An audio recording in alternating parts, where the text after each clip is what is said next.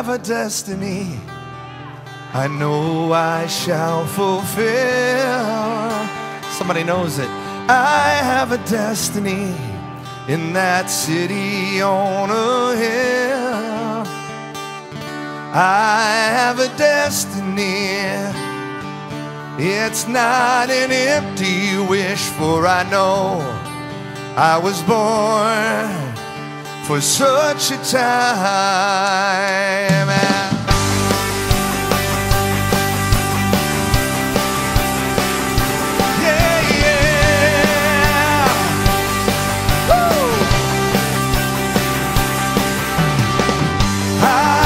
destiny I know I shall fulfill.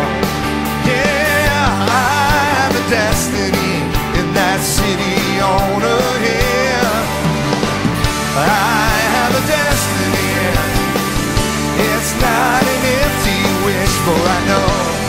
I was born. Lord, kami po'y nagpunta rito. Kami po'y nakinig at nanonood ngayon. Hindi niyo po kami bibiguin. Tuturuan niyo po kami, Panginoon, ng tamang aral upang aming maging gabay sa aming pamumuhay. Aral o Diyos na tama upang maging gabay din namin o ipanggabay din namin sa iba upang sa ganoon ang anumang gawa at kilos, pananalita ng sino ba man ay amin din may correct. Magabayan namin, Panginoon, ng sambayan ng Pilipino. Masabayan na, magabayan po namin ng sandaigdigan. Madala po namin sila sa tama at sa buhay na walang hanggan. At alam din po namin, dakilang Diyos, na meron ka pong mga espesyal na mga bagay para sa amin. Sapagat ikaw po ang nangako na kapag inuna namin ang iyong kaharian at ang iyong katwiran, ibibigay niyo po ang lahat ng aming mga pangangailangan. At nagtitiwala po kami, Ama, na hindi lamang ninyo binigay ang aming mga pangangailangan, kundi sobra-sobra pa. Higit pa ho sa aming mga inaasahan. Kaya ngayon pa lamang, dakilang Ama, kunin niyo po ang lahat ng karangalan. Ito po'y para lamang sa iyong dakilang pangalan, sa pangalan ng aming Panginoon sa Kristo ng bawal sa magsabi na Amen. Palakpakan natin ang malakas sa Diyos. Hallelujah! Isang malakas sa palakpak sa Diyos. Isang malakas sa sigaw sa Panginoon. Hallelujah! At lahat ay makakaupo na sa Diyos.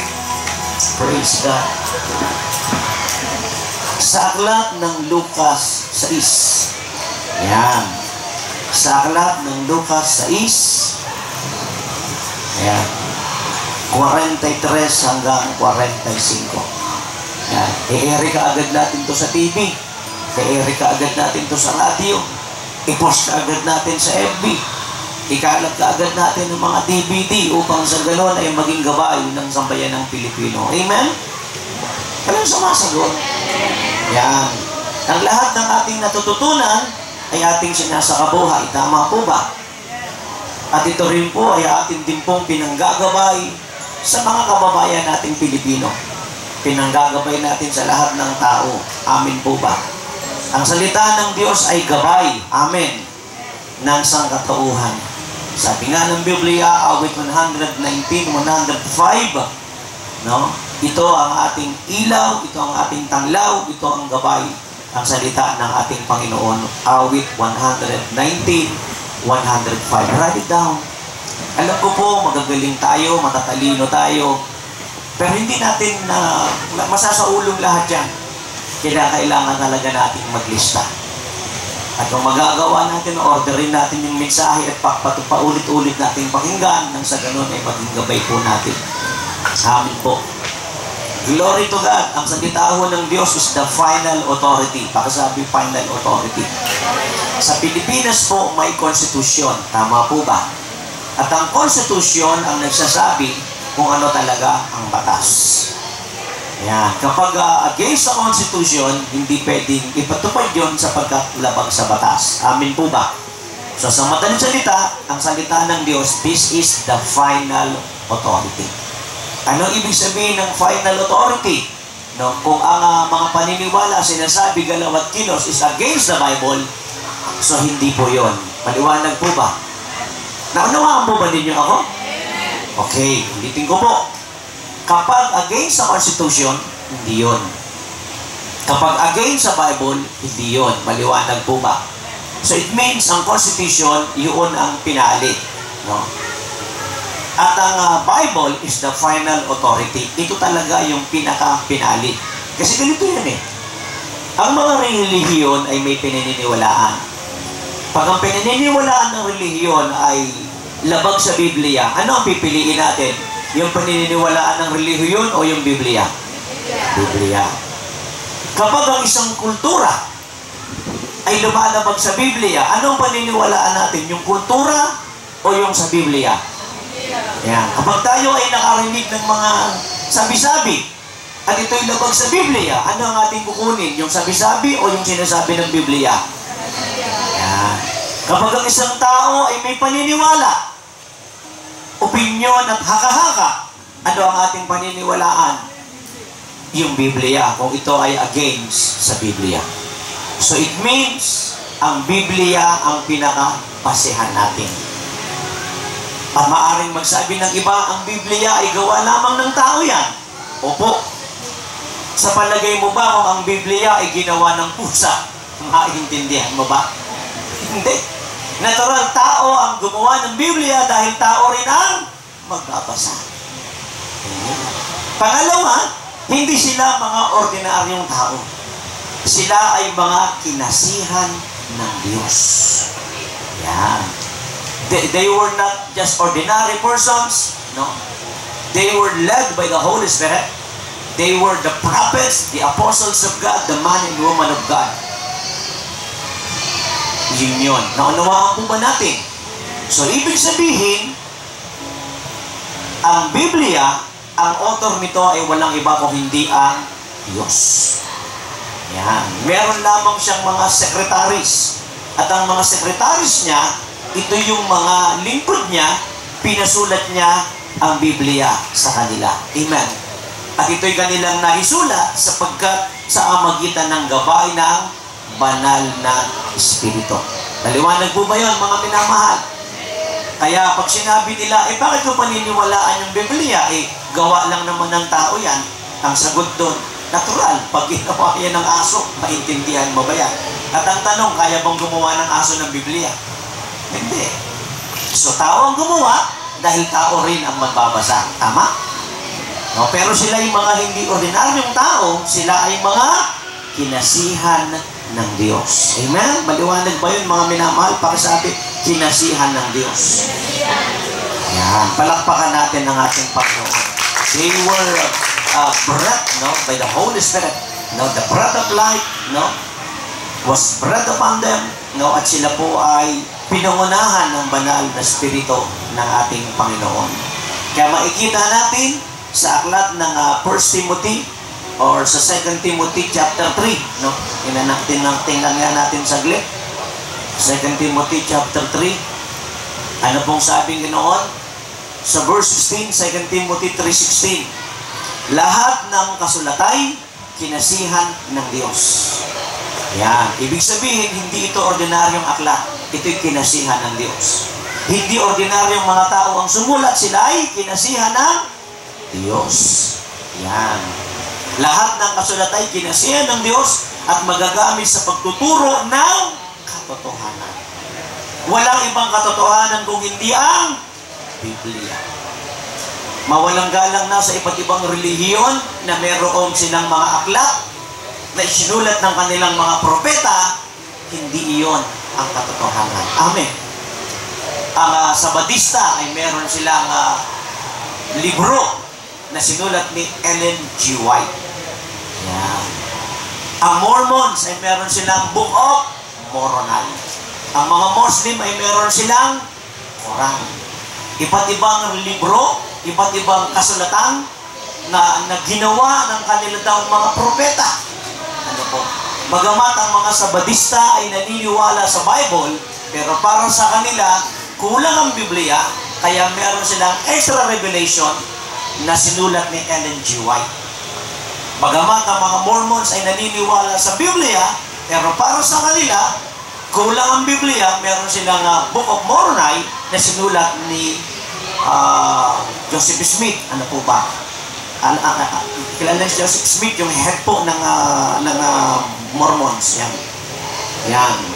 At uh, bagamat ang uh, Jehovah's Witnesses naniniwala sa Biblia, kaya lang problema ang Biblia nila ay binago.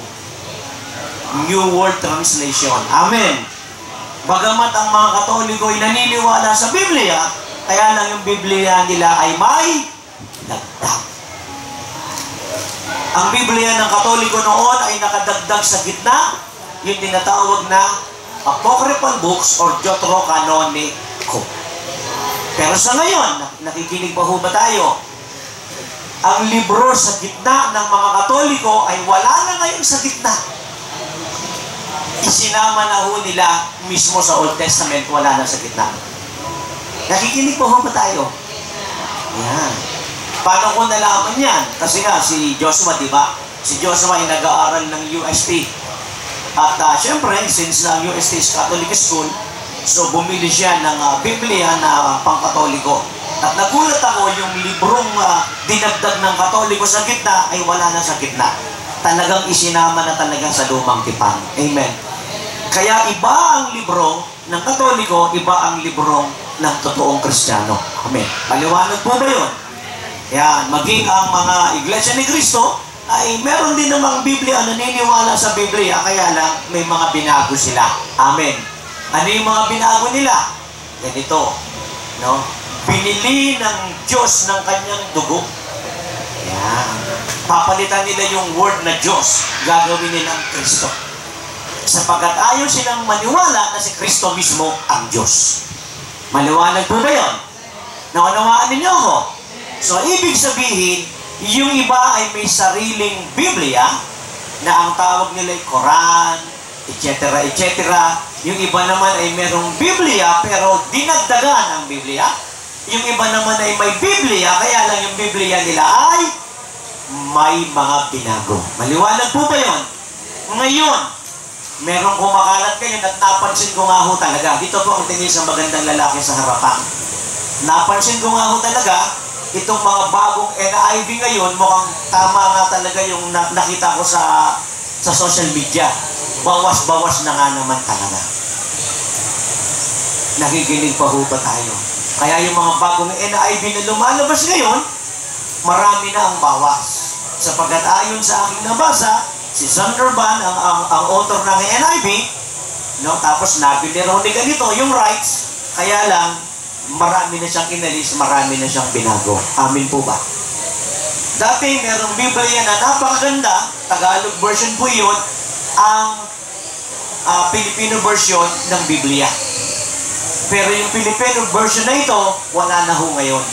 Sapagkat namatay na yung ah, founder nito, walang successor. Nakikinig pa po pa tayo. Ito yung ginagamit doon ng mga full-time natin na yung mga Filipino version ng Biblia, ngayon wala na ngayon yun.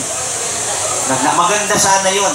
Maganda yung pagkakasali nun sa Tagalog. Amin po ba? So naunawaan po ba natin?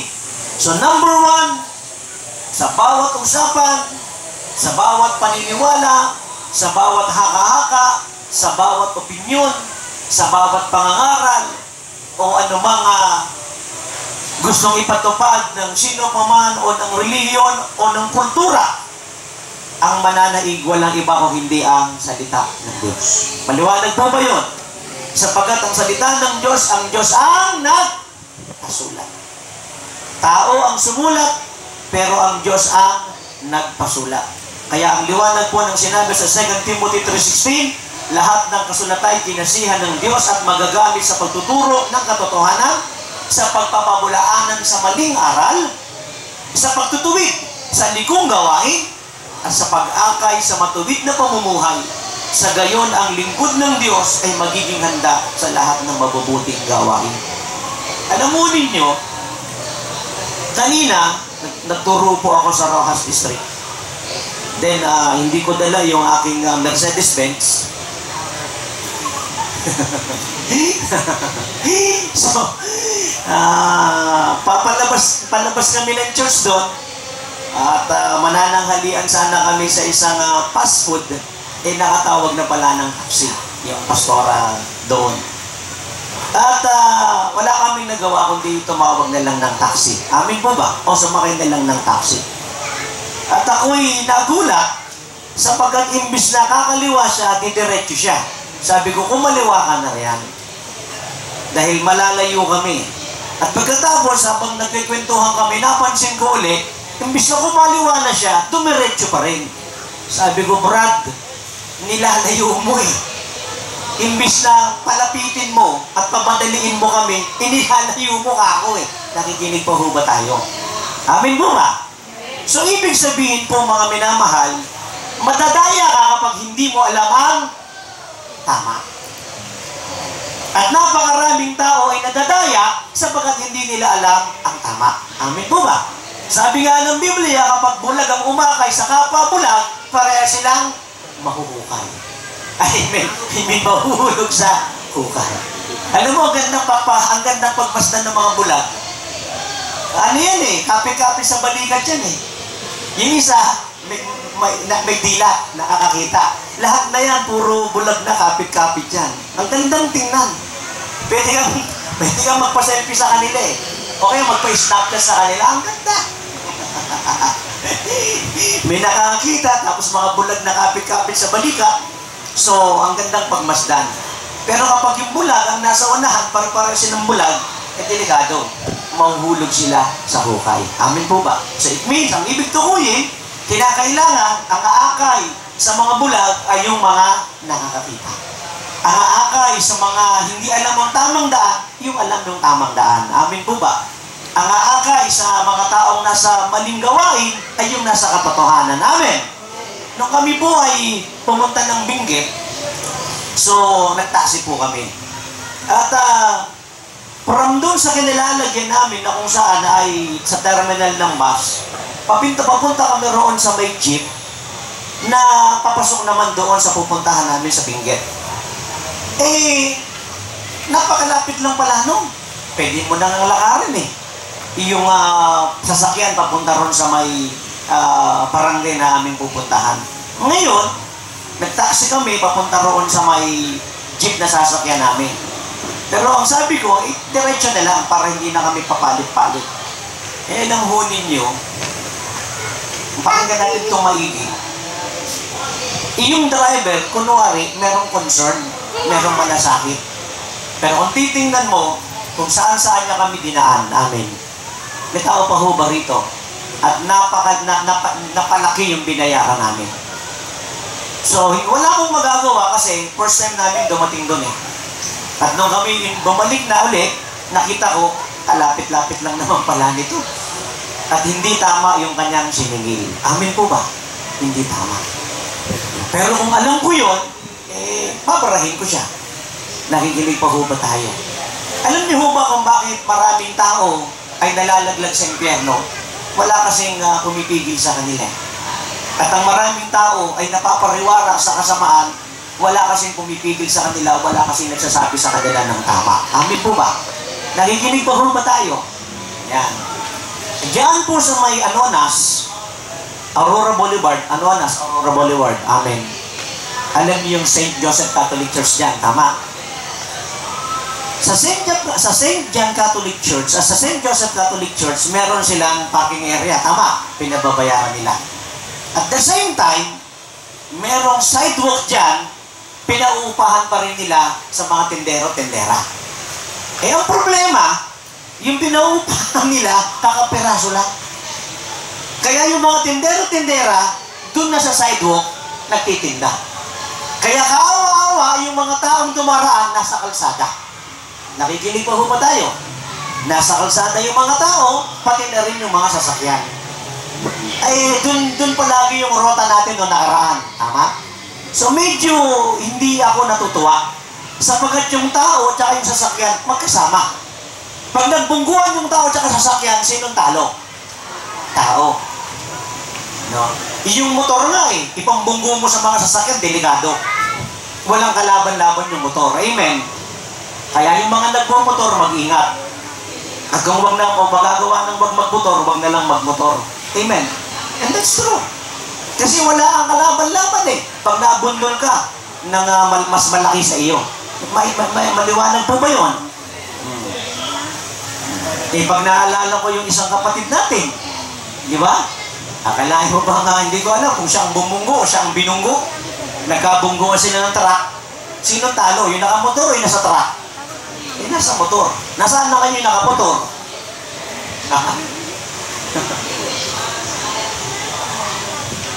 Yun yun eh. Nakikinig pa ba tayo? Kaya ang ginawa ko, pinuntahan ko yung St. Joseph. Pinuntahan ko muna yung guard, na sinuro ako ng guard sa office, kinausap ko yung nasa office. At ang sabi ko, lumabas po kayo. At tingnan ninyo, yung sidewalk. Kasi imbis na yung mga tao ang dumaraan doon, nasa kalsada sila. At alam ninyo, makinig kayo maigi. Ayon sa nakausap ko, marami na pala talaga ang nagre-reklamo. Hindi lang pala ako nung oras na yon. Pero, yun na ang huling reklamo. Pagkatapos nun, pinaalis na nila lahat ng mga tendero sa sidewalk, tendero sa sidewalk, sapagkat hindi yung tindahan, yun ay daanan ng tao. Amen! Palakpakan natin ang Panginoong Diyos na po. Ano pong ibig nating tukuyin? Bakit maraming pupunta sa impyerno? Kasi nga, wala nagsasalita ng katotohanan. Bakit ang mga tao nasa kasamali, nasa kamalian? Kasi wala nga kasi nagsasalita sa katotohanan. Kaya kayo tinayunan nyo sa programang ito ang sabi ng Panginoon sa radyo television para magsalita ng katotohanan. Ngayon ang ito ang sabi ng Panginoon ay hindi lamang nasa radyo television, ito rin ay nasa babasahin, amen. Ito rin ay nasa social media, amen. May tao pa ho ba rito? Para sabihin ng katotohanan. At ang, at, ang, at ang ito ang sabi ng Panginoon ay nasa mga bibig din natin, amen. Para sabihin ang katotohanan. Kaya ano pong sabi ng 2 Timothy 3.16? Lahat ng kasulatan kinasihan ng Diyos at magagamit sa pagtuturo ng katotohanan sa pagtutuwid ng likong gawain. Likong gawain, pamumuhay yun. No? Sa pag-aakay sa matuwid na pamumuhay, no? Sa gayon, ang lingkod ng Diyos ay magiging handa sa lahat ng mabubuting gawain. So ito yung salita ng Diyos. No? Ito yung salita ng Diyos na kinakailangang uh, sabihin natin. No? Pag sinabing salita ng Diyos, Biblia, Scripture, banal na kasulatan, kapahayagan ng Diyos. So, isa lamang po ang kahulugan nun. Naunawaan po ba natin? Kundi ito mismong Biblia at saka yung mga nakasaad sa Biblia na ipinapangaral, binobroadcast, sinasabi, sinasalita, or piniprint, or pinupos. Amin po ba? Kaya po, listen very carefully, napakahalaga na ang salita ng Diyos ay maipangaral. Kaya nga sabi ni Apostol Pablo, no, hindi ko kinahihiya na ipangaral ang mabuting balita ng kaligtasan. Napapanahon man o hindi Timoteo, ipangaral mo ito. Sabi niya ganoon, hindi ka binigyan ng espiritu ng uh, pagiging mahiyain, no? Kung hindi binigyan ka ng Diyos ng uh, uh, ng ng ng ng, uh, ng uh, pagmamahal, kapangyarihan at uh, malinis o maliwanag na pag-iisip. God hath not given us the spirit of fear, but of love, power, and sound mind. Sa maliwanag mga minamahal, merong haka-haka, merong kuro-kuro, merong sabi-sabi, merong opinion ng tao, sabi ng Kastila, sabi ni ganito, sabi ng, ng kinamulatan, sabi ng mga matatanda, maraming sabi-sabi, pero ang kinakailangan ay ang sabi ng Panginoon. Amen po ba? Palakpakan natin ng Diyos. Yan. At ngayon, pupunta tayo sa ating topic. Introduction lang po iyon. No? At anong sabi ganoon sa aklat ng Lucas sa isyo, ating babasahin sana kanina, ngayon ay ating babasahin. Walang mabuting punong kahoy na namumunga ng masama. At walang masamang punong kahoy na namumunga ng mabuti. Nakikilala ang buwat ang bawat punong kahoy sa amagitan ng kanyang bunga. Sapagat hindi makakapitas ng igos sa puno ng aroma at di rin makaka puputi ng ubas sa puno ng dawag. Ang lalim na na. At di rin nakapuputi ng ubas sa puno ng dawag. So mga minamahal, ngayong ganitong mga panahon, dun sa amin, umuusbong na yung mga duha. Yan. Ito na yung panahon ng duha. At nung ah, nagpunta kami ng uh, Gimba, nung nakaraan, nakasama ako, pumunta kami roon sa Partida Dos. At ah, meron sila puno ng uh, kamatsili. May tao pa ho ba rito? So, maganda yung kam- kamatsili. No? So, pinadalang kami ni nanay, no? Ni nanay ni Sister Cherry. Ipag-pray natin si Sister Cherry na tinatawag natin pastora ngayon, na siya ngayon yung mga isa sa humahayo doon. Amin po ba? Palakpakan natin ng Panginoon ko sa buhay. So, nag-uwi kami ng mga kamatsidin nakaraan, ang sarap. No? So, ibig sabihin, mga minamahal, anumang puno, kung ano yung puno nito, yun ang lalabas na bunga. Tama. Pag kamatis, ano ang bunga ng kamatis? Kamatis din. Pag talong, din. Pag ubas, din. Maliwanag. Pag hindi ubas, grapes. Tama? Pag ang puno ng bayabas, hindi na bunga ng bayabas, dapat guwaba. Tama? Tama. Palakpakan natin si Lord. So sa madaling salita po, ah, pero alam ba natin na marami tayong mga prutas sa Tagalog, hindi natin alam kung anong English? Yes. Hmm. Marami tayong hindi alam. At ang sabi rito, ang mabuting tao ay nakapagdudulot ng mabuti sa pagtigib sa kabutihan ng kanyang puso. Ang masamang tao ay nakakapagdulot ng masama sapagkat puno ng kasamaan ang kanyang puso. Sapagkat kung ano ang bukang bibig ng tao ay siya rin ang laman ng kanyang dibdib. Yan. Maliwanag po ba? Kung ano raw yung puno, siya raw ang bunga. Kung ano raw yung laman ng bibig ng taong lumalabas sa kanyang bibig, yun ang laman ng kanyang dibdib, yun ang kanyang pagkatao. So para malaman mo kung anong klaseng pagkatao siya, pagsalitain mo siya ng pagsalitain, makikilala mo kung sino siya. For out of the abundance of the heart, the mouth speaks. Maliwanag po ba? Maliwanag ba yun? Kung ang puno ay namunga, kung ano yung puno, yun din ang bunga. Kapag ang tao ay nagsalita, kung ano yung kanyang sinasabi, yun mismo ang pagkatao niya. Yun mismo ang ugali niya. Maliwanag po ba? Amen. Palakpakan natin ang Panginoon. Ngayon, ang sabi ng banal na kasulatan, sa aklat ng Mateo 15, 16, no, Mateo 15, kasi ang istorya rito sa Mateo 15, yung mga religious people, meron silang tradisyon. Bago sila kumain, meron silang hand washing, not for cleansing, kundi meron sa naritong tradisyon. Amin po ba? Meron silang uh, kinaugalian. At nakita nila na ang mga alagad ni Yeso Kristo ay hindi naghugas ng kamay bago kumain. Based on their tradition. Amin po ba? Di ba yung mga tao, ah, kapag ah, malapit ng ikasal, hindi lumalabas ng bahay, di ba? Tama? Kasi baka raw maaksidente. Tama? Totoo po. Nung ako po ay nag-preach nung last Wednesday sa Gimba, yung, yung ah, bisita, hindi na inihatid hanggang, ah, hanggang pintuan lang hinatid, hanggang pintuan lang. At ang sabi ganun, hindi na kaya hatid hanggang, hanggang labas, ha? Hanggang dito na lang, ha? bawal ha? Sabi. May tao pa ho ba rito? Nakikinig pa ho ba tayo? Yan. Hindi nyo ba napapansin pag merong namamatay eh, ah, yung kabaong, yung mga bata, itinatawid? Tama? Tama. La, yung mga bata. Hindi pa pwede itawid yung matanda eh. Mabigat yun eh. sa mga bata lang. Bakit? Para daw wag multuhin o wag dalawin. Ganun yun. So, ibig sabihin, maraming tao, yung kanilang ginagawa is based on tradition. Yan. Hindi lang yun basta-basta ganun-ganun lang. So ngayon, ano ang ginawa ni Yeso Kristo? Ano, ang, anong sabi ni Jesus? Ano?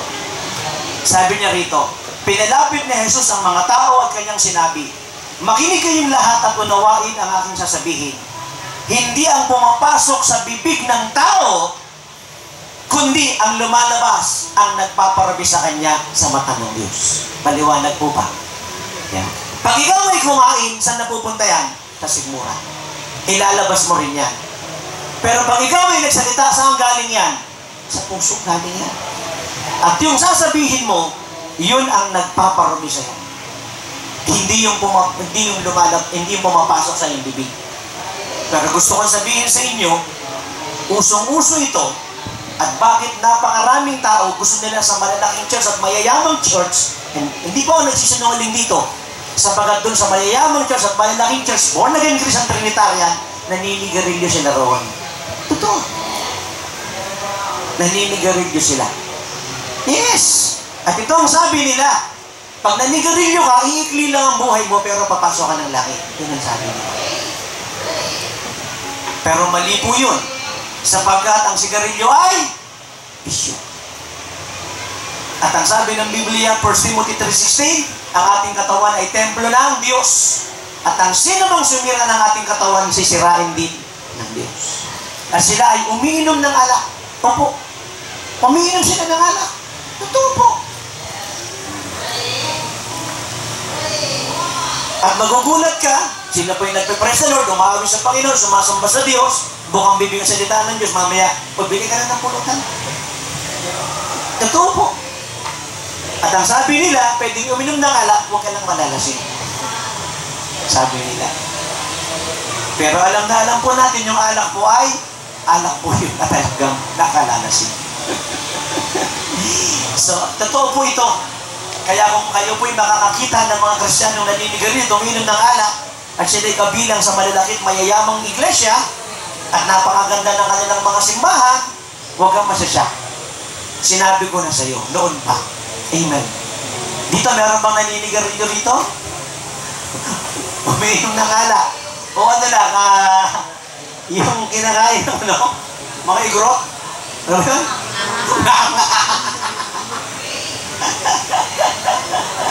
nga nga. Pero yung nga nga, alam ko, tabako din ata yun eh, no?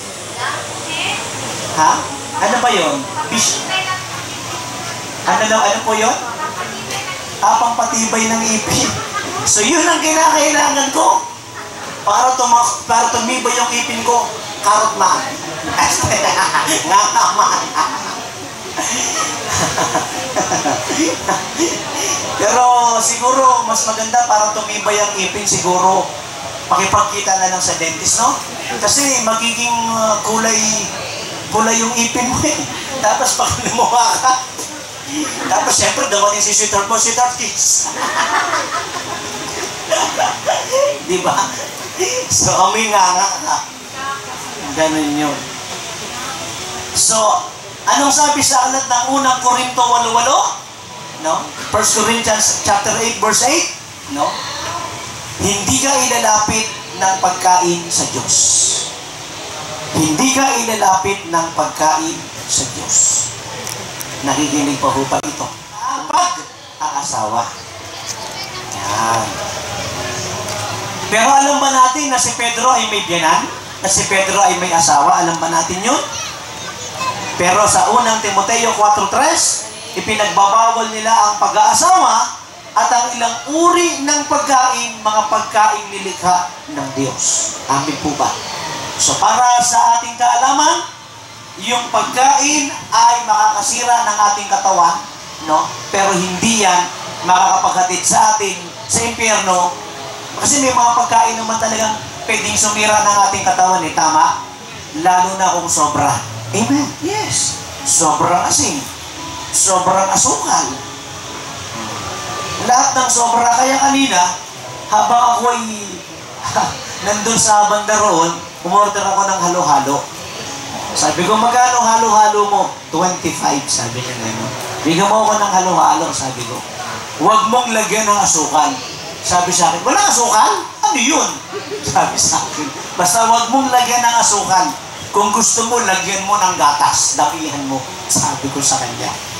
Minsan, di ba, may mga naglalako ng pinya, di ba? May mga nagtutulak ng pinya at watermelon. Magkano yung pinya mo? May 20 sir, may 10. Sige, bigyan mo ako. Ihiwain na yan, di ba? Tapos lalagyan ng asin. Ops, ops, ops. Huwag mong lalagyan ng asin. Maglalagyan sir, huwag. Kung gusto mong dagdagan, dagdagan mo ng pinya. Huwag kasi. Natatawa siya. so, maaaring may mga pagkain, lalo na kung sobrang sumira ng ating katawan, pero hindi yan maghahatid sa atin sa kalangitan at hindi yan sa atin maglalapit sa Diyos. Maliwanag po ba yun, mga minamahal? So, ibig sabihin, para makilala mo ang tao, ang kinakailangan ay pagsalitain mo siya. O kung ano yung mga galaw at kilos niya, yun ang pagkatao niya. At ang tao ay sasama, pupunta ng impyerno kapag masama ang lumalabas sa kanyang bibig. Mga bad words, mga PI, yung iba English, yung iba nagmumura Bisaya, yung iba nagmumura Ilocano. No? Maaaring hindi mo maintindihan pag hindi ka Bisaya, maaaring hindi mo maintindihan pag hindi ka Ilocano. Yung napuntahan namin sa Benguet, hindi siya Ilocano, parang silang mga Japanese, kung tawagin pala sila mga Ibaloy. May mga taga-Ibaloy ba rito? Wala. So, isang araw makakasama natin yung mga taga-Ibaloy. Liwa. Maliwanag po ba yun? You want? gusto niyo sila, gusto niyo magsipagbabaan dito, kahit o kayo pumunta ron? mga, nagulat nga ako sa mga salita nila eh. Parang silang mga hapon. Parang mga hapon. Ang tawag pala sa word nila is Ibaloy. Ganoon. Ang liwanag po ba yun, mga minamahal? Kaya sabi ko nga sa ating kapatid, eh, alam mo, mas magagamit ka rito sa matatanda ikaw. Kasi ma- mas alam mo yung dialect nila eh. Eh kami, hindi namin alam yung dialect nila eh. Yung mga matatanda, alam niyo sa panahon ngayon, yung mga kabataan na lang, no, ang nakakaintindi ng Tagalog. Pero yung mga matatanda, hindi naman sila marunong mag-Tagalog. Amen? Minsan hindi nyo napapansin yung mga talagang Bisaya. Kausapin mo ng Tagalog, hindi kayo magkakaintindihan eh. Mabuti pa kausapin mo ng English, magkakaintindihan kayo. Tama? Yes. Yung mga Ilocano o yung mga Ibaloy na yan, kaus mag-usap ng Tagalog, hindi kayo magkakaintindihan eh. Pero mas mag-usap kayo ng English, magkakaintindihan pa kayo eh. No? Kaya yung lola ko na taga Capiz, no? Ilongga, pag nung buhay pa yon, eh siyempre, Bisaya yon. Tapos ako Tagalog, hindi kami nakakaintindihan eh. Pero pag English, nakakaintindihan kami. Maliwanag po ba yun? Ganoon. So palakpakan natin ng Diyos. So sa madalit salita, ano ang ibig kong tukuyin? Number one, ang salita ng tao na lumalabas sa kanyang bibig, galing sa puso na yun. Yun ang ugali niya, yun ang kanyang pagkatao. For out of the abundance of the heart, the mouth speaks. At kung lumalabas sa kanyang bibig ay masama, no? Ibig sabihin, masama siyang tao. Amen. At kung lumalabas sa kanyang bibig ay mabubuti, it means mabuti siyang tao. Amen po ba? Ano ang tubig ng dagat? Ala, hindi yan tabang. Yes. Kaya sa dagat, ang nabubuhay ay mga isdang alat. Hindi isdang tabang. Hmm. Iba ang isdang tabang, iba ang isdang alat. Ano ang mga isdang tabang? Sige nga. Tilapia, dalag, hito. Yan ang mga isdang na tabang. Iba yung isdang alat. Kaya ibig sabihin, kung ano yung lumalabas sa bibig ng tao, yun siya. Nakikinig pa ho ba tayo? Maliwanag po ba yun, mga minamahal? Kaya, yung sinasabi na si Duterte, si Duterte, nakatsahin na natin. Yung mga galaw at kids Duterte, wala lang daw yun. Hindi totoo yun. Yun ang pagkatao niya. Yung pala yung mura niya, yun ang pagkatao niya. Yes. Yung si Duterte ay, ah, yung mga chicks ay hinagahalikan niya, nililips na lips pa niya, yun ang pagkatao niya. Nakikinig pa ho ba tayo? Yes, hindi mo pwede sabihin, joke-joke na lang. Hindi. Lalo na kung i- maraming beses na nagmumura, yun ang pagkatao niya. Maraming beses na naghahalik-halik, yun ang pagkatao niya. At sasabihin niya, wow, kaganda nito. Pinilahan. Sayang, mukhang artista pa naman. Dapat nauna ron mayor. Iyon ang pagkatao niya. Nakikinig pa ho ba tayo? Yes. Ngayon, Gusto mo bang iboto si Duterte? Nasa sa'yo yun, walang pipigil sa'yo. Pwede ba umupo si Duterte bilang presidente ng Pilipinas? Pwede rin, wala rin namang pipigil. Amin po ba? Kasi sa Iraq, wala naman po, wala namang nakapigil eh. Si Iraq, ilan ang asawa na Iraq? Napakarami. Kaya nga nung lumabas itong ah, ah, sinasabi nilang mukhang mamunting na makalaban ni Alden Richard eh. Eh, pala na Iraq yun, si J.K. Hersito. Amen. Maliwanag mo ba yun? Ako hindi ako papahuli sa showbiz eh.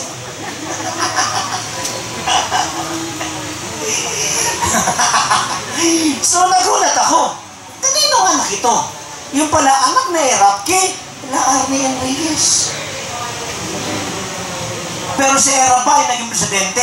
Opo. At si Erap, di ba, nahuli pa na nagkakasino, di ba? So, anong ibinatintukoy? So, sino man ay pwedeng maka-assume into office, nakikinig pa ho ba tayo? Kay Kristiyano kay hindi, can assume into an office. Amen. Ngunit, listen very carefully. Yung sinasabi ng marami na hindi ganun ang kanyang pagkatao, pagkatao niya.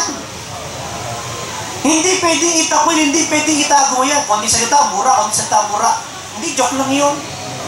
PI nyo, joke lang yun. Mga PI, sabihin niya, ikaw po, PI mo, ha? Ay, eh, hindi, hindi ba? Nakikita natin sa news yan eh. Pagkatao niya yan, amin po ba? May tao pa ho ba rito? Ito, listen very carefully. Nung si Pinoy ay naging presidente, at si Pinoy ay naninigarilyo, natuwa ba ang Pilipinas na siya'y naninigarilyo? Hindi. Bakit? Ang sinasabi sa kanya, tutularan ka niyan eh. Ng mga tao, pinuno ka pa naman, tutularan ka. So dapat bilang leader ng ah, Pilipinas, ng bansa, dapat yung iyong ah, personality, yung iyong character is, is above, di ba? Your constituents above ah, the ordinary citizen. Nakikinig pa ho ba tayo? Kaya pag nakikita ng mga tao na siya naninigarilyo, sinasabi sa kanya, isuko mo na yan. Hindi yan makakatulong sa mga kababayan nating mga Pilipino. Hindi yan makakatulong. Pangalawa, hindi yan makakatulong sa iyong health, sa iyong kalusugan. Idagdag pa natin, ang mga naninigarilyo ay pupunta ng impyerno. Ngayon, kung si Duterte o ang sino pa man ay gustong maging pinuno ng bansa, amen, dapat yung mga mali sa buhay niya, itakwil niya na ngayon. Itakwil niya na ngayon. Dahil hindi magandang halimbawa yun eh. Eh maraming ginawa yan sa Davao. Okay. No? Hindi natin isinasantabi yun.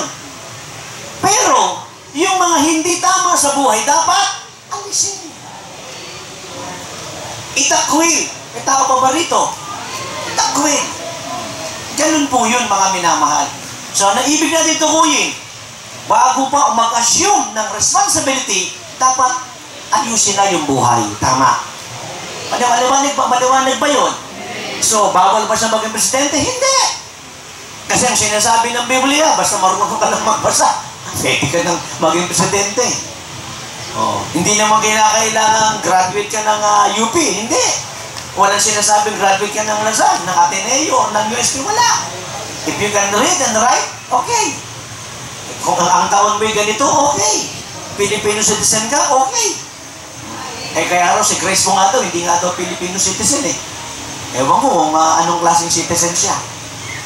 May tao pa ho ba rito? Hanggang ngayon kasi, hindi pa rin kilala kung sino yung mga magulang niya, eh, no? Ay, hindi lumilito yung mga magulang niya at mga kamag-anakan niya, eh. No? Pero siya daw ay, siya pala ay inampon ni Fernando Po Jr. Tao pa ho ba rito? Kaya pala nagtataka ako nung kabataan ko, parang hindi ka mukha ni Fernando po si Susan, si, si, tsaka ni Susan Roses, si Grace po, no? Parang ang layo. Kasi kaganda ni Susan Roses, kaganda ni Fernando po, pero hindi ka mukha. Kaya ang talagang ang masasabi mong talagang ang po talaga eh, yung talagang po, si Lobby po eh, no? Yan talaga. At saka yung mga, mga iba pang anak ni ni Fernando po sa ibang iba't ibang mga babae. Yun yun. Kaya alam niyo ang politika talaga marumi. Sabi nga ni Sharon, ang, ang, ang, ang, ang showbiz marumi. Pero mas marumi ang politika. Sa showbiz, naharangan pa ni Fernando po na lumabas yung kanyang kasiraan. Pero sa politika, hindi niya na naharangan. Lahat ng mga anak niya sa labas, binunyag. Ganong karami ang politika. Nakikinig pa ho ba tayo? Sabi nga nila, kung gusto mo ng tahimik na buhay, huwag kang pumasok sa politika. Kung gusto mo ng magulong pamumuhay, pasukin mo ang politika. Amen. Sabi nila.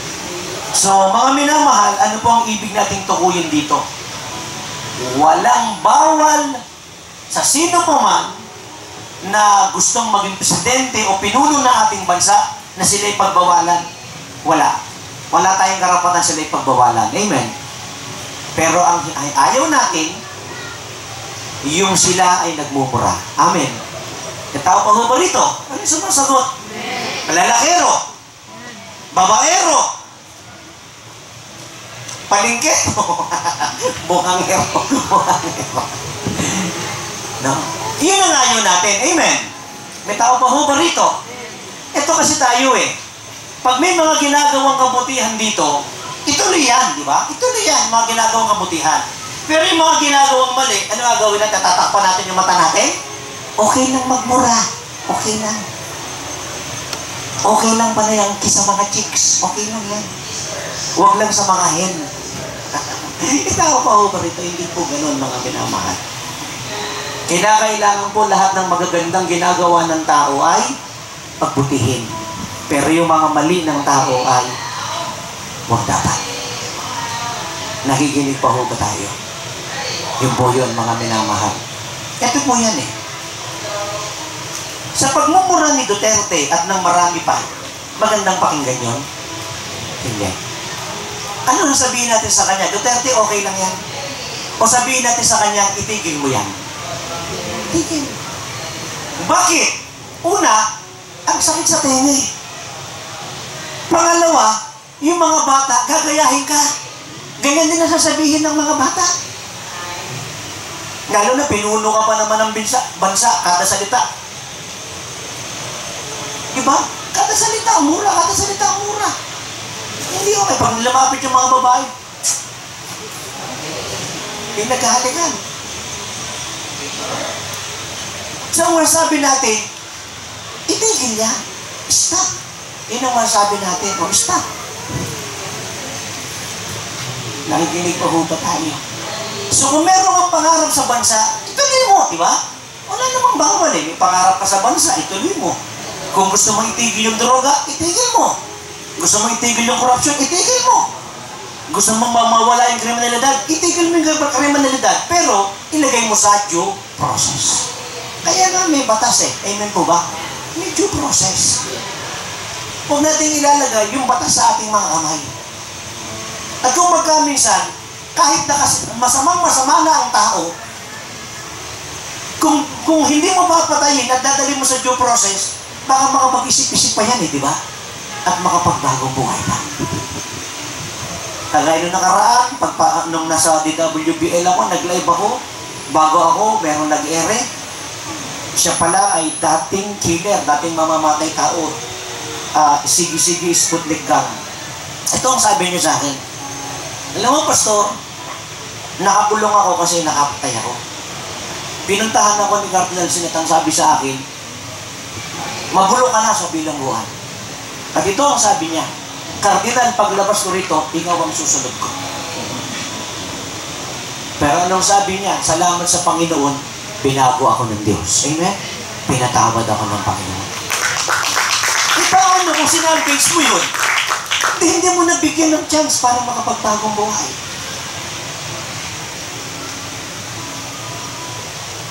Kaya ang bawat isa ay dapat binibigyan ng due process. Amen? At ito ang masaklap. Sino ba ang mga pinapatay? At mga sinasalvage, mayayaman ba yan? Hindi. May, may hirap yan. Ako okay ako sa death penalty. Pero ang problema natin sa death penalty, sino bang napapatay sa death penalty? Mga mahihirap. Wala ang makikitang mahihamang nila dinala sa death penalty. Wala. Kaya kung magkakaganon, tagalin mong death penalty kasi hindi fair eh. Amen. Nagkakapahaw pa rito. Kasi mahihirap lang ang napupunta sa death penalty. Yung mahihaman, hindi. Nakakataka sila. Ganon din sa mga salvage-salvage na yan. Mga extrajudicial killing na yan. O yung mga summary killing na yan. I mean, sino bang nadadali dyan? Mahihirap. Subukan mong isama killing mo yung mga kilalang tao. Hindi. Naliwanag po ba yun, mga minamahal? Palakpakan natin saglit ang Panginoon. So, ano ang ibig natin tunguhin? Ito. No? Sino man ang naghahangad na maging pinuno ng ating bansa, lahat ng kanyang mga magagandang gawa, ituloy na. Pero lahat ng pangit sa kanya, ayusin niya. Amen? Eh, ito ang masakit. Ito yung malungkot eh. Na para bang okay lang magmura ng magmura.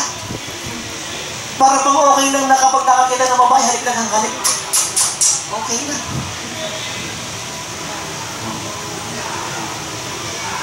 Hindi, hindi okay yun eh. Pag okay ka ba ron, halik lang ng halik? Papayag ka ba yung mister mo, halik lang ng halik kung kani-kanino? Hindi, siyempre hindi ka papayag. Amen po ba? Papayag ba yung misis mo, halik na nga ng halik kung kani-kanino? Ano yan, suso?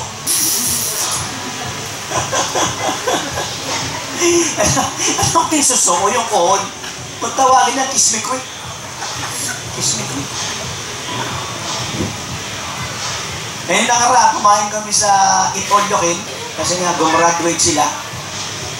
Eh, mabuti yung kuhol doon, yung suso. Hindi na sinisipsip. Kin tinutu kinukuha mo ng ah hindi nagkarayo. Toothpick. Pagka, pagkarayo. Toothpick. Tutusok, tutusokin mo ng toothpick saka mo kakainin. Moderna na yun, pero noong unang panahon, is me quick. so, okay lang, okay lang kumis lang kumis kung, kung suso ko Pero kung sinong lalaki, sino babae, hindi, hindi okay yun. Okay, sige. sige yung droga, ay patigil mo yung droga, ipatigil mo yung kabalidad ko. Kriminalidad, droga, ipatigil mo lahat yan ko. Pero yung pagmumura mo, itigil mo rin yung, yung halikan ng halik kung kani-kanino, itigil mo rin, di ba? May tao pa ho ba rito? Oh, si, P si Pinoy, naninigarilyo, pinapatigil yung paninigarilyo niya eh. Huwag yan, hindi maganda yan bilang presidente ng Pilipinas. Pangalawa, it's not good for your health. Amen. And third, you will go to hell. Tama po ba? Ganon din. Mura ng mura. Palagay mo kaya, maganda magandang tularan yon? Hindi. Pangalawa, saan pupunta yung nagmumura?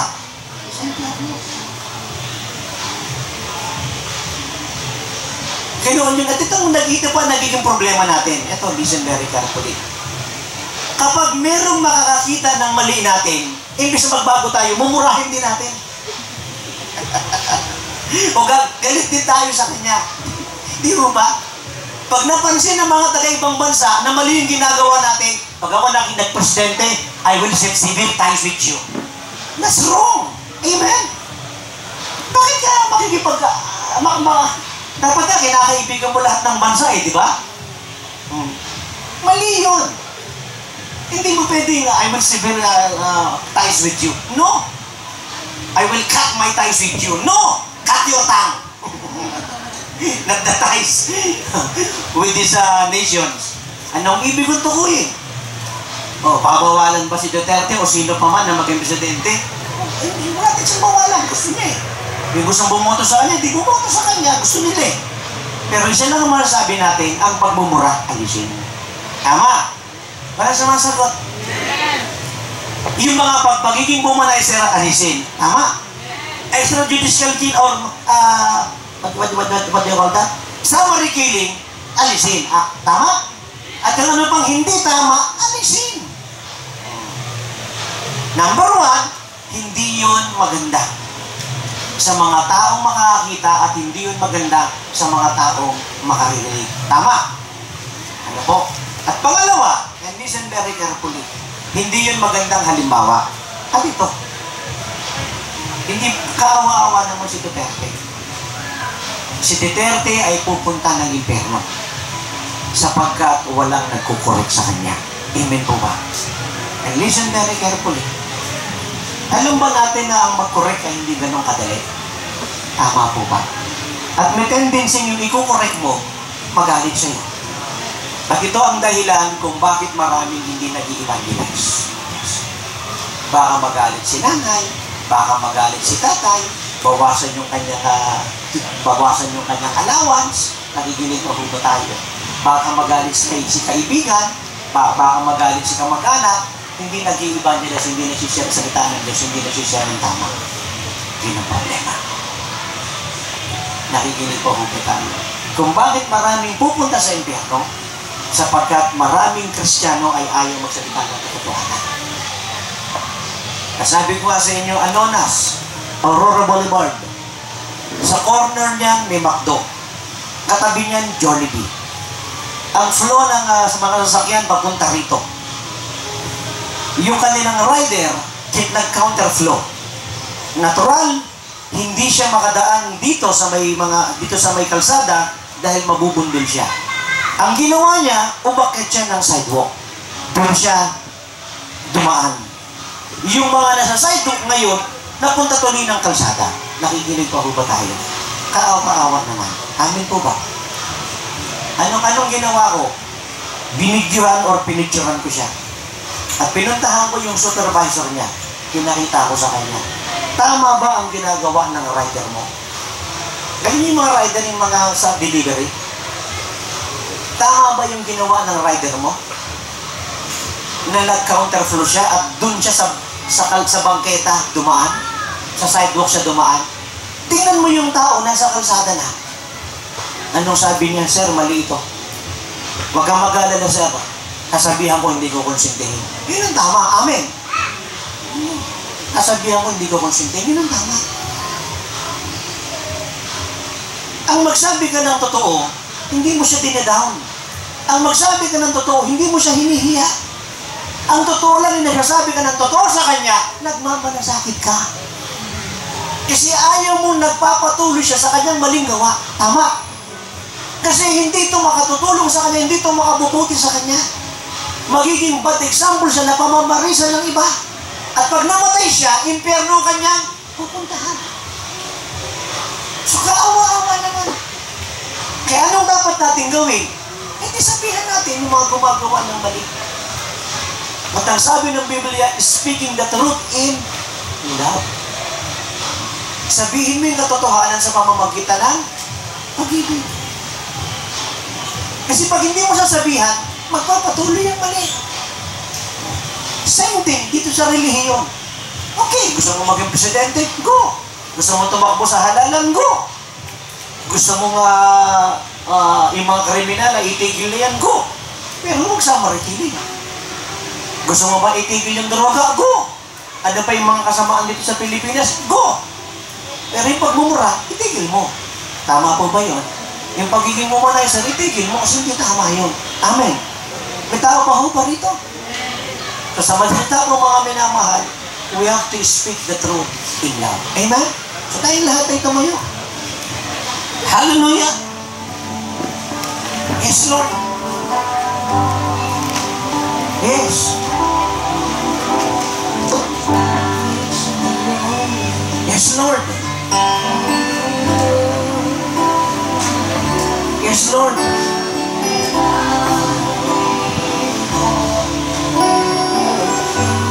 Yes, Lord.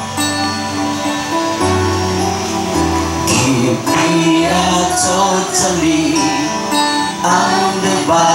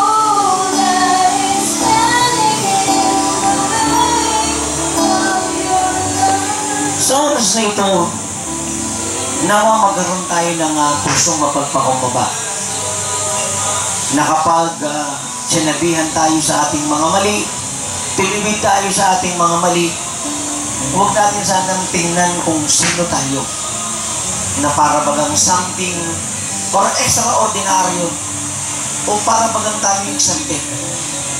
At huwag din natin sabihin na marami tayong ginagawang magaganda para yung mga mali natin ay pagtakpan. Hindi ganun eh. Kinakailangan bukas ang ating puso na tanggapin kung ano man yung mga hindi tama sa ating buhay.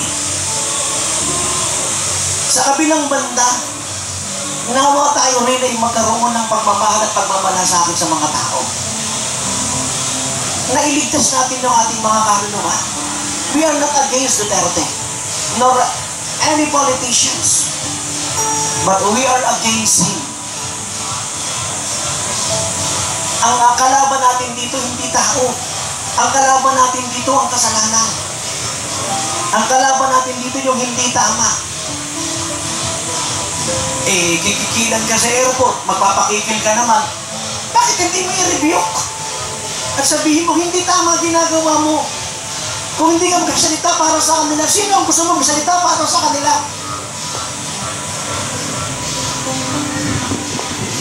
Kaya nagpapatuloy ang mali. Natin magsalita, ayaw natin kumilos.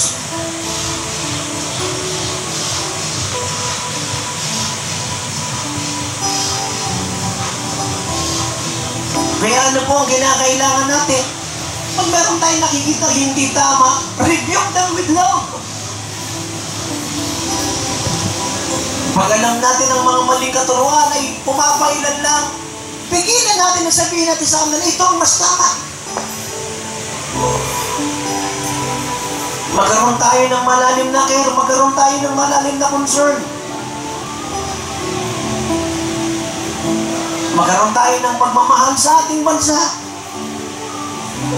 Na ang mamumuno rito yung mga qualified at dadali ng ating bansa sa katagumpayan at hindi lamang sa katagumpayan, kundi sa kaligtasan sa buhay na walang hanggan. Kaya ano ano ang ah, dapat na mangyari sa ating buhay? Kapag tinutuwid tayo, magpatuwid tayo. Aminin natin yung mga hindi tama sa ating buhay. Ipakorek natin. Huwag natin i-exempt ang ating mga sarili. Sabi ko nga, ito yung lagi kong paulit-ulit na sinasabi. Kapag leader na, exempted na eh. Na dapat na ang mga leader ang unang magsakabuhay, exempted palagi. Laging tinitingnan yung mga bago, yung mga nasa ilalim na sila ang magbabago. Pero yung mga leader exempted na dapat na unang gumawa. Na sila ang dapat na unang magsakabuhay. Ini-accept yung sarili. And this is wrong.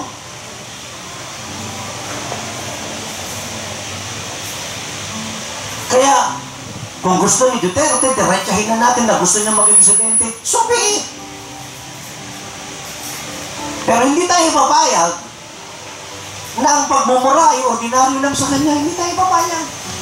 Hindi tayo papayag ng sa pagkikiling. Hindi tayo papayag ng magiging humanizer niya. Hindi tayo papayag. Dahil sasabihin, wala namang mag-aahon ng Pilipinas, kundi ako eh. So, iahon mo rin ang sarili mo sa pagmumura. Ihahon mo rin ang sarili mo sa pagiging humanizer. Ihahon, iahon mo rin ang sarili mo sa mga negatibo at mga pangit na na ikaw mismo ay inaamin mo at nakikita ng mga tao sa iyo. If you want to become a president of this nation, so be it. If you want to run for election, you want to win, so be it. If people uh, wants you to vote, if, if the people uh, uh, wants to vote you, so be it. Pero ang ang sinasabi natin, ang mga mali ay dapat maituwid. At hindi po rin gumagawa tayo ng tama, yung mali natin, exempted na yun. No! At hindi po rin leader na tayo, exempted na tayo. Ito nga, nakita ko eh. Kung sino nga yung mga leader, ngayon lagi exempted eh. Kung sino yung mga inaasahan mong unang magtutulid at magbabago ng landas at magiging responsibilidad, sila nga yung laging exempted eh.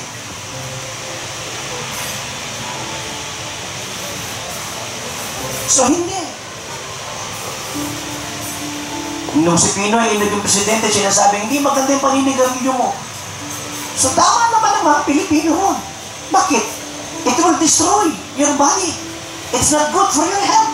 And you will go to hell. Idagdag mo pa. Yung first-hand smoker, mabigat na sa sarili niya yun. Pero mas mabigat yung second hand na ang ibig sabihin yung nakakaamoy ng binubuga mo, mas lalong delikado yun. Magtanong ka sa doktor. Hindi ka dapat magalit sa katotohanan. Isa ang problema ng mga tao. Pag sila'y tinutuwid ang landas, imbis magpatawid ng landas na gagalit. Nung nakikiusap at sinasabi ng mga taga-Australia, mali ang ginagawa mo. Sasabihin mong pinilahan, dapat ikaw ang nauna, mis- missionary pa naman yun. Tapos sasabihin mong, I will cut my ties with you. No, that's wrong.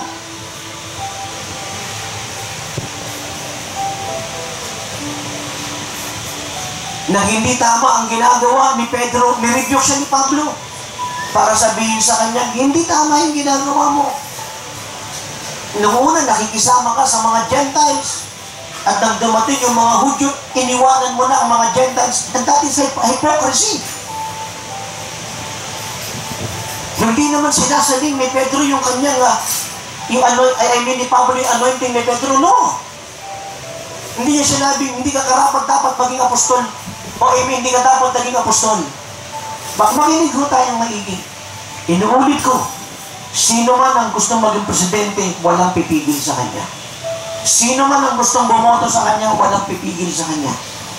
Pero ang ayaw lang natin mula sa Biblia, ang masama ay nagpapatuloy. Yun ang ayaw natin. Hindi sinabi ni, pa, ni Pablo kay, kay, kay Pedro, bumaba ka sa pagiging apostol. Hindi. At hindi ka dapat naging apostol. Hindi yun. Hindi niya sinabi yung pagiging apostol. Ni Pedro, pero ang sinasabi niya, what you are doing is hypocrisy.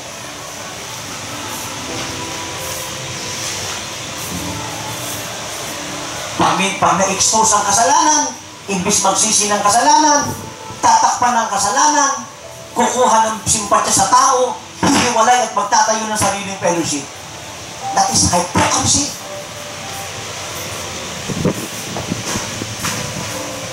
Mga agaw ng tupa, mga agaw ng pera, pati mga pag-aari ng Diyos, aagawin pa rin. That is hypocrisy. Alam mo yung mga lumalabas,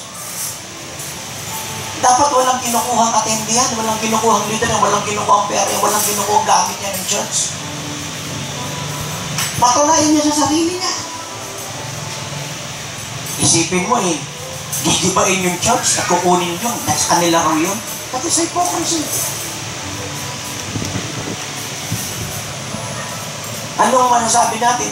Ipinakita lang ng Diyos yung ugali nila eh. Hindi mo dapat tularan. Na-expose ang kasalanan, imbis magsi. At hindi nangangahulugan na ang isang tao, maganda ang ginagawa, sa, sa kanan niya, at sa kaliwa niya may maling ginagawa, yung kaliwa niyang ginagawang maling ginagawa, ay pagtatakpan na lang ito. No! Ang masasabi natin, ituloy mo ang ginagawa mo sa kanang maganda, at yung ginagawa mo sa kaliwa mo hindi maganda, bitawan mo. At gumawa ka ng maganda sa kaliwa mo, so, left and right, maganda ginagawa mo. Much better. Kaya ang mensaheng ito ay para sa ating lahat. Hindi tayo exempted, lalo na yung mga leader. Hindi exempted yan. Kaya nga leader eh. Isa ordinaryong tao nga. Sinasabihin, tama na yung paninigarilyo mo. Alam mo, masisira katawan mo yan eh. Kawawa din yung nakakasinghot niyan, nakapwa mo. Magtanong ka sa doktor. Pangatlo, pupunta ka sa impyerno. Inalo na kung presidente ka ng Pilipinas. Siyempre sasabihin sa'yo, tigil mo na yan, Pinoy. Kaya ganun din sa mga tumatakbo ngayon. Kung pupunta ka lang dyan sa gobyerno at magnanakaw ka lang, bay ka, maawa ka naman sa mga tao. Maawa ka naman sa mga Pilipino. Kung magpapayaman ka lang ng sarili mo, maawa ka naman.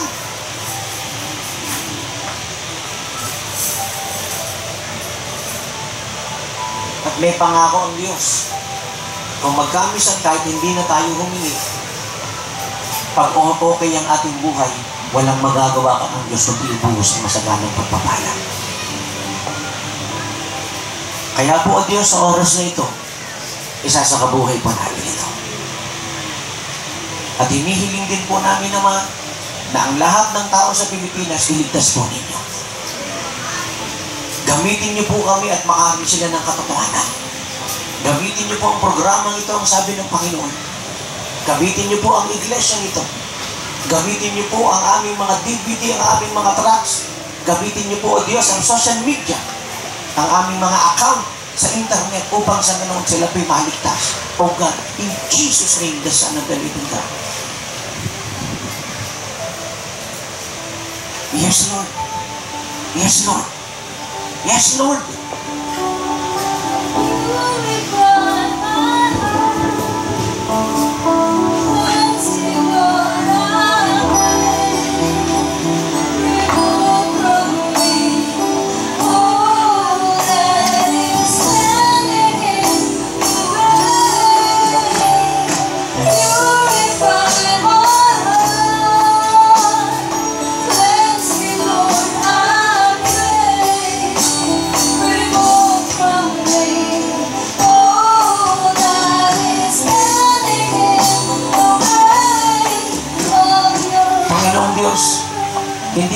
Namin mapipigilan sino man ang gusto kumupo bilang leader ng aming bansa.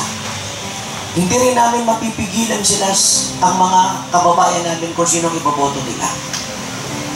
Pero Ama, sa samang sa sama-samang panalangin ng iyong mga anak sa Kingdom of Jesus Fellowship, dalangin namin, Panginoon, ikaw ang maglagay sa puso ng mga tao kung sino ang dapat na iboto.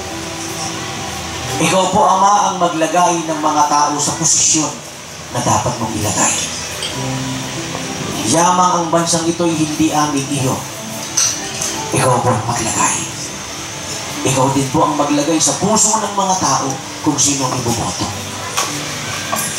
At kami po, Panginoong Diyos, iyamang ikaw ang lumikha sa amin. Gusto rin namin na pagkatapos ng aming buhay sa mundo ibabon ito, pumasok kami ng kalangitan.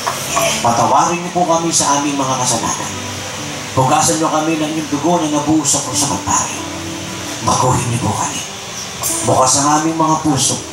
Itala niyo ang aming mga pangalan sa kalat ng buhay sa kalangitan. At ang yamang, yamang ang katawang ito. Ikaw po ang may likha. Pagalingin mo, Panginoon. Gawan niyo po ng himala. At yamang alam niyo po ang lahat ng aming pangangailangan. Tugunan niyo nga po, Ma. At yamang kilala niyo rin ang mga asawa, anak, magulang, kapatid, mga mahal sa buhay na naliligaw at nalilihis ng landas, kilala niyo sila. Dalangin namin naman, kumilit ka sa kanilang buhay. Ibalik niyo sila sa inyong pili.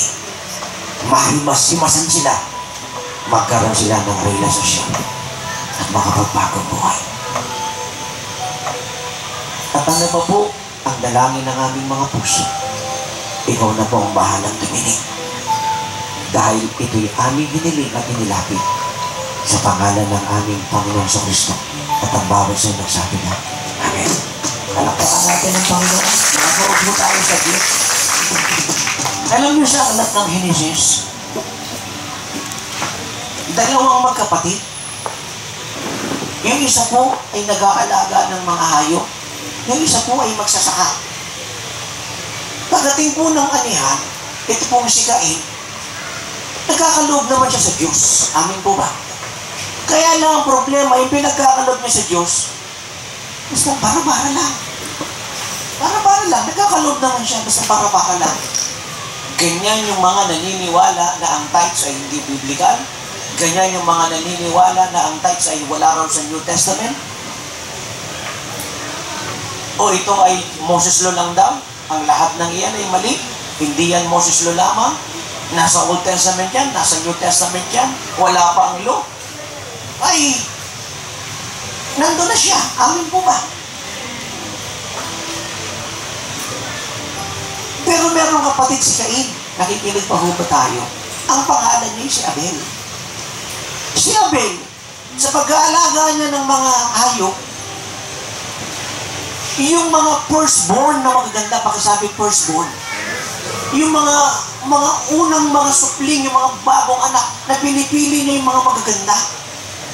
Ito yung inaalay niya sa Diyos. Amen. Pakisabi, pinipili niya. So, anong nangyari? Hindi niya alam.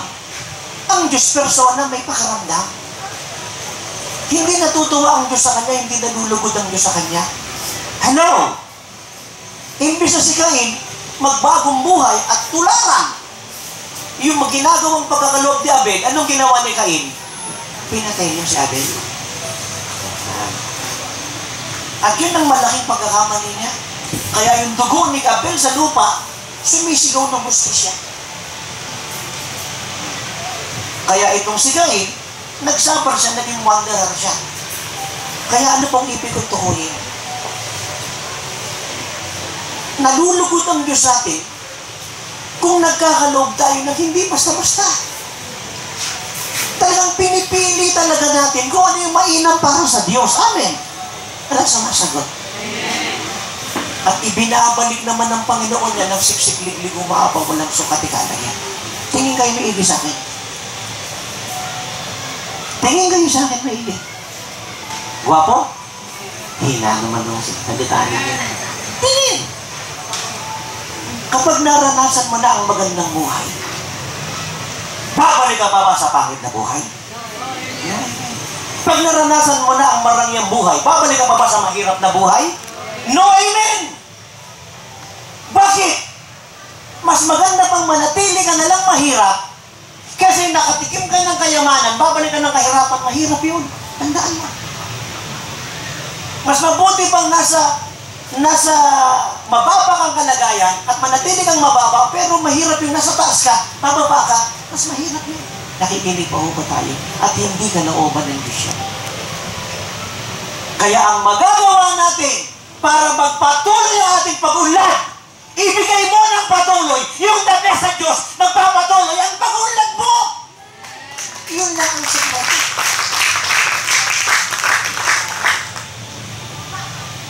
Ang buhay ko at buhay mo, paganda ng paganda. Paganda ng paganda, payaman ng payaman, paputi ng paputi, at yan ang kalooban ng Panginoon. Yan ang kalooban ng Diyos. Hindi yung nag-born again ka na, backslide ka. Nag-born again ka na, balik ka sa ene. 40. Sa ene. Pag born again ka na, huwag ka nang babalik pa sa masama. Pag naglingkod ka na sa Panginoon, tuloy-tuloy na ang paglilingkod mo.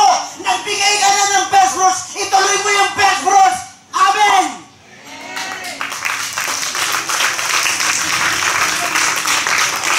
Paganda ng paganda. Pabuti ng pabuti. Payaman ng payaman. Paapoy ng paapoy. Yan ang kalooban ng Diyos. Kaya yung ginagawa, yung nag-iisip yun, iisip mo na yung si Gary, si, yung kinopya ni Gary. Michael Jackson, di tama yan eh. Si Patras yan. Ikinig pa mo ba tayo? At hindi ka naoban ng Diyos yan. Kaya huwag kang papayag na hindi mo binibigay ang tithes mo. Ang offering mo, ang fruits mo, nangunguripot ka sa Panginoon. Kinunguripot mo lang ang sarili mo. Amin po ba? At sabi nga ng kapatid, pagbalik niya sa KOJF, ito na ba yung, ito na ba yung church natin? Ito na ba yung mga instrumento, na- instrumento natin? Oo. Kaya po yung mga instrumento natin, paganda ng paganda, pabuti ng pabuti. Hindi ka naoban ng isang kanya. Ipagawa mo, kung di magawa. Ipalitan mo, pabili ka ng bago! Kesa naman magtiis tayo. Amen? Malapit yung makatabi mo, bibili tayo ng bago. O, sige, tukot na. Tukot na. Pero, sa kanta, ang buhay ko at buhay mo. Naibigay na natin ang ating mga tithes, offering, first fruits at iba pang mga nakasulat diyan. Lalo na yung ating mga pledges. At hindi dahil sa nangangailangan kung hindi bilang ninyong mga spiritual na mga magulang, ibigay din yung para sa inyong spiritual na mga magulang. Those who bless the true men and women of God will be blessed by God. Kami nagpapasalamat sa dakilang araw na ito, Panginoon. Naangkin nga po talaga namin ang katagumpayan para sa araw na ito, Panginoon. At sa aming pansamantalang paghiwa-hiwalay, Panginoon, naway aming may isa kabuhay sa aming paghayo sa lugar na ito, Panginoon. May isa kabuhay namin ng bawat aral at bawat turo namin narinig sa oras at araw na ito, Panginoon. Kaya mong makita ito sa aming mga buhay, Panginoon. At sa aming pansamantalang paghiwa-hiwalay, Panginoon. At sa aming pansamantalang pag-uwi, Panginoon, ikaw ang aming maging kalakasan, Panginoon. Ikaw ang aming maging gabay, Panginoon. Balutan mo ang bawat isang nandirito, Panginoon, ng iyong dugo. At ikaw nawa ang mag-ingat sa kanilang, Panginoon. Patuloy mo pong pagpalain ng bawat isang Panginoon. Patuloy mo pong pagpalain ng ministeryong ito, Panginoon.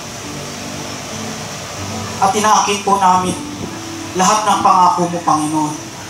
Truly, you're a faithful God, Panginoon, at hindi mo kami bibiguin sa huling kakanahon na ito, Panginoon. Kaya pinagpapasalamat po namin ang araw na ito, Panginoon, at ang mga darating pangaraw, Panginoon, pinagpapasalamat na po namin. At sa ilamang po namin binabaril ng lahat na papurit pa sa salamat sa iyong pinakamataas na pangalan, sa pangalan ng Jesus.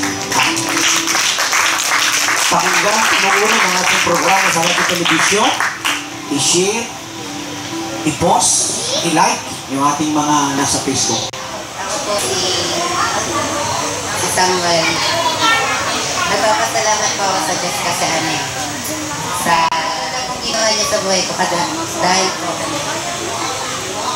uh, una po sa lahat ano dahil po sakitin ko lagi po akong inaas inaasma po ako tapos nung nandun po ako sa bahay namin lagi po akong inaasma tapos yung mula po nung napunta po kay Ninang Maren tapos lagi na po akong sumasama sa kanya linggo-linggo. Yun. Hindi na, ano, binira na po ako asmahin. Tapos ngayon po, hindi ko na po nararamdaman yung sakit ko. Binago niya po ako dahil kasi po dati, ah, nung nangungupit po ako sa mama ko. Pati rin po sa nanay ko po. Sa lola ko po nangungupit po ako ng pera para lang po na bili po yung gusto ko. Tapos, ngayon po, binago niya na po ako. Hindi ko na po ginagawa ngayon.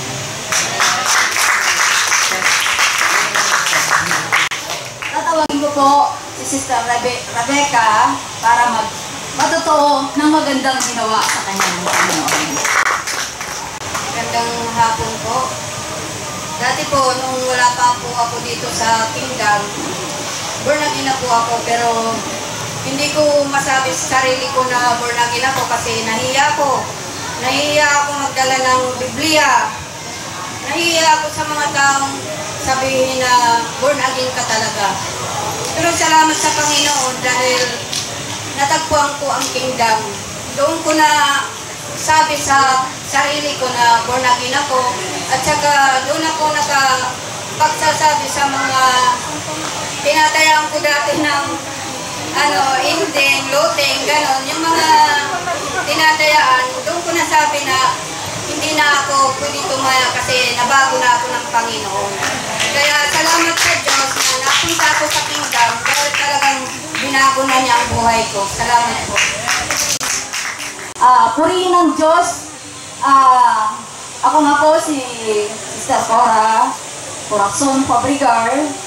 Ah, sa aking pakikinig sa radyo, nang ito ang sabi ng Panginoon, bunga ko ng pakikinig sa radyo, nang ito ang sabi ng Panginoon. At dahil doon, doon ko nadama na kumilos ang Diyos sa aking buhay nang dumating sa punto na dumalo ako, nandyan pa yan. Ang gawain ito, nandyan pa sa Kamyas, sa tabi ng police station. Yun ang unang pagdalo ko sa gawain, kasama ko, bali, bali anim yata kami, kasama ko ang ipag ko, ang asawa ko, at ang anak niya. Bali lima o anim ata kami. At sa pagdating namin doon, hinanap nga po namin ang lugar dahil nang mapakinggan po namin sa radyo na sinasabi ni Pastor na, oh, napagpala ba kayo sa pakikinig? Kung napagpala kayo sa pakikinig, dumalo kayo sa lugar na ito. At ah, hindi lamang yan ang inyong mararanasan.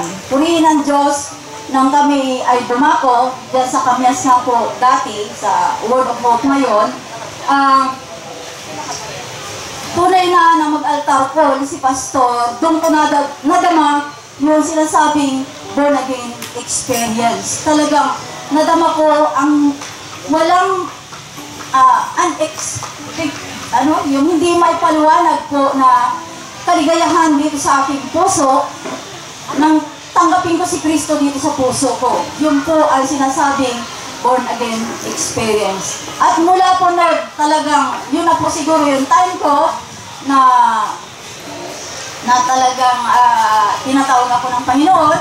Mula noon talagang maalab yung puso ko. At saka, hin- nawala na po yung hiya ko. Na dati po yung mahiyain ako. Sobra. At doon nga po sa aking trabaho sa Makati, kater po kami nung isang kapatid na siya pong ah, naging daan para makapakinig po ako ng salita ng Diyos. Yun po ay si Sister Jo. At siya po ay naroon na sa piling ng Panginoon. Siya po ang naging daan para po ako'y makarating dito sa kingdom. Ganon po, gumawa po ng paraan ng Diyos kung paano tayo kanyang tinawag at binago. At saka, uh, purihin ng Panginoon, ah, maraming himala po ang ginawa ng Diyos sa aking buhay. Dati meron akong hika, pinagaling doon po ng Panginoon.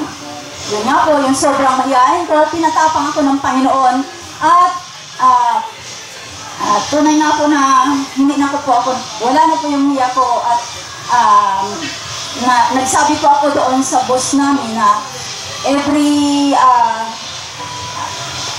ah, every kalagatian ng week po, eh merong Bible study sa church. Nagsabi po ako hindi, hindi po ako nahiya.